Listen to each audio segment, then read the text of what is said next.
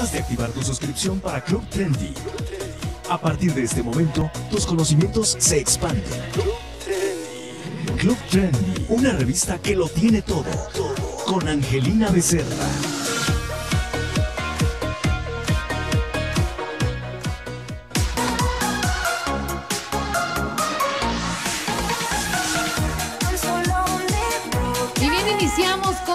El mundo te saludo y le saludo también a todas las personas que recién llegan a nuestra frecuencia, el 1040 de amplitud modulada detrás de este micrófono. Angelina Becerra, ya lista junto con todo el equipo de producción, Claudia Arias en la producción de este espacio, Valeria Valdés en la línea telefónica, Arturo Cervantes en el control operativo. Y bueno, cerrando esta semana, una semana que ha sido pues difícil para, para todos, ¿no? Como, como pueblo, pero también hemos sabido responder con optimismo, con, con alegría y, sacamos la mejor garra que, tenemos, ¿no? Esa, esa fuerza interior que tanto nos caracteriza y que a lo mejor sentíamos que teníamos dormida, pero que hoy hemos demostrado que como pueblo podemos hacer muchas cosas increíbles cuando nos necesitamos los unos a otros. Y ese, ese es el verdadero México. Ese es el, México en el que me gusta vivir y con el que me gusta compartir. Y hay programas, desde luego, que, mm, están enfocados y especializados en, en, el tema de noticias. Nosotros en este caso queremos despejarte un poco, queremos llevar tu atención a otro lado para también salir de, de esta pues de eh, eh, esta maraña, ¿no? A lo mejor de melancolía. Y hoy te vamos a platicar de algo que te va a encantar. Si hay una terapia maravillosa, sea cual sea el género, es la música. Y tenemos con nosotros nada más y nada menos que a la coordinadora de música de Secretaría de Cultura, a quien le doy la bienvenida. Ella es Sibila Novel. Bienvenida a Club Trendy, ¿cómo estás? Muchísimas gracias, muy bien, encantada de estar aquí con ustedes. Gracias por la invitación. No, al contrario, muchas gracias a ti. Qué, qué lindo ser coordinadora de música de Secretaría de Cultura y te lo digo por esto. Debe ser maravilloso porque estás en contacto con muchos compositores, con muchos géneros, con los programas. Platícame en general, a lo mejor las personas que nos están escuchando no saben todo el trabajo que hay detrás, ¿no? Sí, bueno, yo estoy coordinando el área de música, como bien lo dijiste, de Secretaría de Cultura Jalisco. Ajá. Eh, y sí, por supuesto, estoy todo el tiempo en contacto con músicos, músicos de diversos géneros y estilos. Estoy con contacto también con compositores porque tenemos un premio a composición, este con eh, composición orquestal que se comenzó como un premio estatal y ya desde la edición anterior fue un premio nacional muy importante junto con Filarmónica de Jalisco. Y sí, realmente el mundo de la música es un mundo realmente muy amplio, este, porque hay muchos, hay géneros diferentes y hay diferentes maneras de aproximarte a la música. También están los técnicos, los, este, toda la gente que trabaja además detrás, de, un escenario, por ejemplo, ¿no? Entonces realmente pues, es un mundo enorme. ¿Qué es lo que sucede a nivel estatal? Eh, ¿Cómo se selecciona a, lo mejor los programas de música, los compositores, los intérpretes? ¿Cómo se hace un, un, equilibrio en este, en este programa para que nosotros como jaliscienses tengamos acceso a, a diferentes géneros? Claro, por supuesto. Mira, eh, hay varios ciclos y varias instancias. Por ejemplo, en la coordinación de música en la que yo estoy, no quiere decir que todo, absolutamente todo lo que tenga que ver con música tiene que ver conmigo, porque también hay un área que se dedica especialmente a municipios. Este y también llevan muchos programas de música municipios. En mi caso, yo tengo a mi cargo dos eh, ciclos de música. Uno es los martes de música y ópera, que se realiza en el Teatro Alarife cada martes y es un programa permanente a las 8 de la noche. Eh, para los que no conocen el Teatro Alarife, es el que está frente al CODE, sobre Alcalde. Este, los martes de música y ópera es un ciclo de acceso libre a, la población, no, tienes que pagar entrada. Este, y es un ciclo que está dedicado a la música clásica. Eh, ¿Qué hacen los artistas para poder participar? Se ponen en contacto con coordinación de música y envían sus propuestas. Es decir, si alguien tiene a lo mejor eh, pertenece a, cierta escuela o ha tenido cierta preparación que se, se, pueda sentir listo, puede acercarse a ustedes para, para participar en este programa. Por supuesto. ¿Son puros talentos locales o también tenemos exposición internacional? Está enfocado al talento local, pero cuando tenemos presencias internacionales que están en la ciudad y que las cosas se acomodan para poder presentarlos, lo, por supuesto que estamos encantados porque nos nutre muchísimo y sí, hemos tenido muchas, varias participaciones internacionales, pero el programa está enfocado al talento local. Y el otro ciclo, eh, para cubrir un poco el, espectro de, los géneros de, música, aunque bueno, es imposible abarcarlos a todos, pero los lunes estamos haciendo otro ciclo que se llama Sesiones de Música Popular Contemporánea.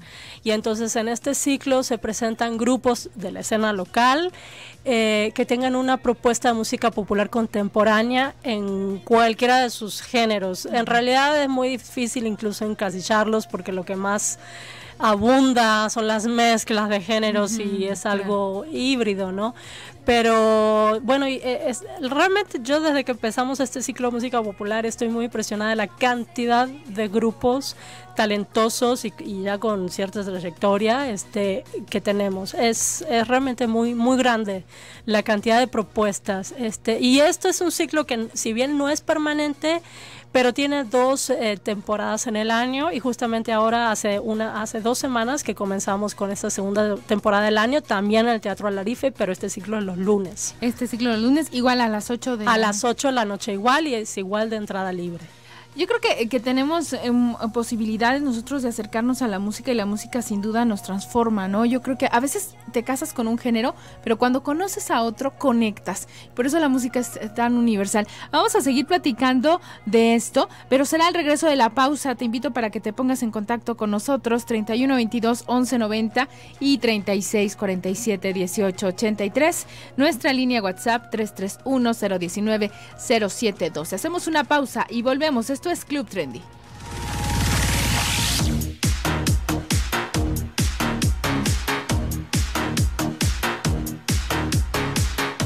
Los estilos de vida de hoy, la información actual de los temas de tu interés, la fama, la moda, todo escúchalo en Club Trendy. Club Trendy, solo por el 1040, Radio Mujer.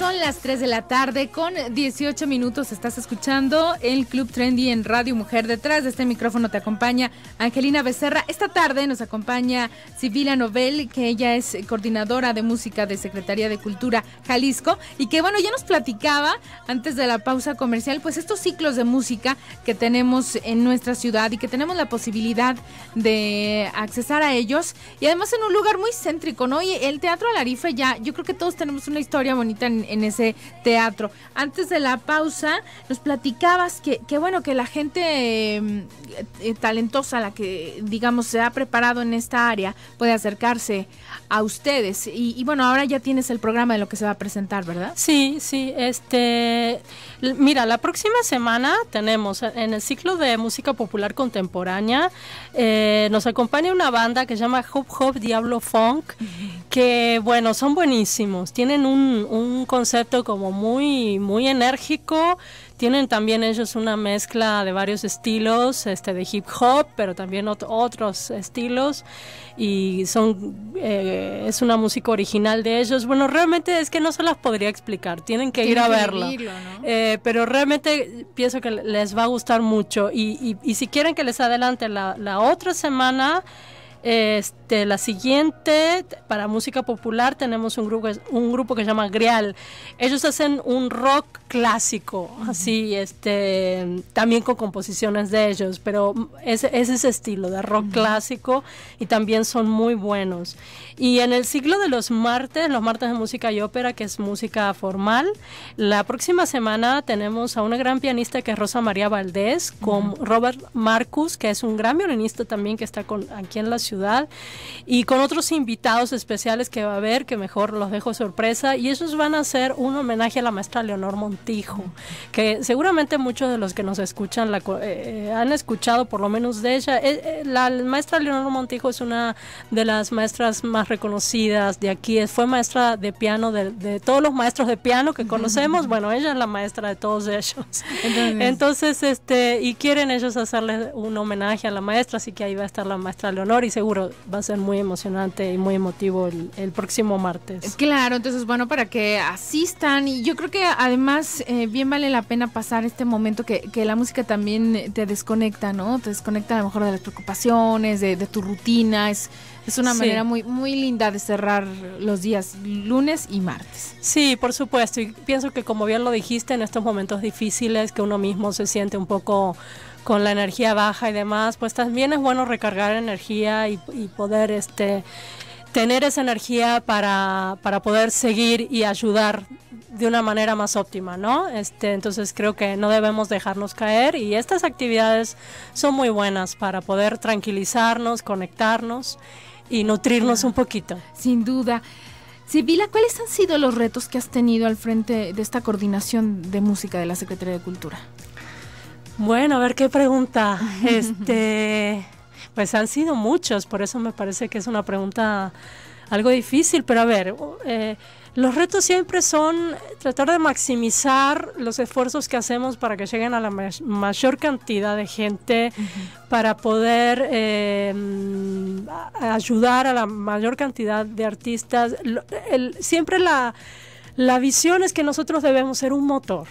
este, nosotros debemos eh, dar, eh, bueno, por ejemplo, hay convocatorias, que hay una convocatoria que se llama Proyecta, donde se apoya la producción independiente. Por ejemplo, desde ahí también ha sido muy importante darles ese empujón o ese apoyo a cosas muy específicas que eh, los artistas ya están trabajando, pero necesitan siempre apoyos.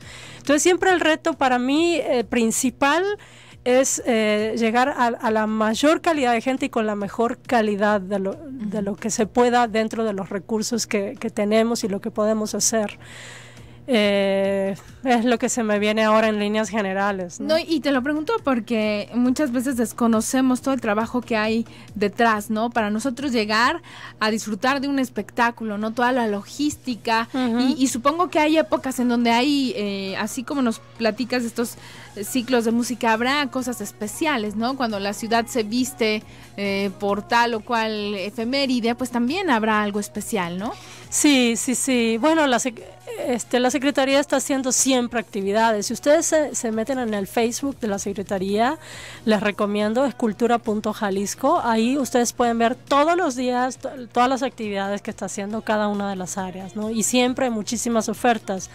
Yo recomiendo mucho que la gente que quiera conectarse, más bien lo haga porque o sea, se, se, conecte a estos canales y por medio de estar conectada puede estar siempre enterada, ¿no? Claro. Porque a veces por ahí no, no, no tiene el, la salida en todos los medios de comunicación y, demás. O típico que, sí, claro, no te enteraste hasta que ya pasó la fecha y quizá yo quiero ir y bueno, resulta que, que ya pasó y eso es, eso es muy importante. Ahora, nos hablabas de ciertos apoyos que hay como para, para gente que, que le guste la música y que tenga talento, pero estos apoyos, ¿en qué consisten? Sí. Bueno, mira, hay muchas maneras de acercarte a la Secretaría de Cultura. Por ejemplo, si a ti te gusta la música, tienes talento y quieres aprender un poco, en, el Instituto Cultural Cabañas hay talleres. Entonces ellos tienen talleres desde iniciación hasta la licenciatura que también tiene Cabañas. Entonces, esa es una manera de acercarte. Otra manera de acercarte es, eh, por ejemplo, en mi área de música, pues mandando a la coordinación tu propuesta. Si tú ya tienes una propuesta profesional, ¿no? De al menos algo de trayectoria, este, entonces podemos considerarte para, para que estés en los ciclos y para, para que tengas más proyección, porque además tenemos el Canal 7 cada, cada vez filmando y retransmite los conciertos.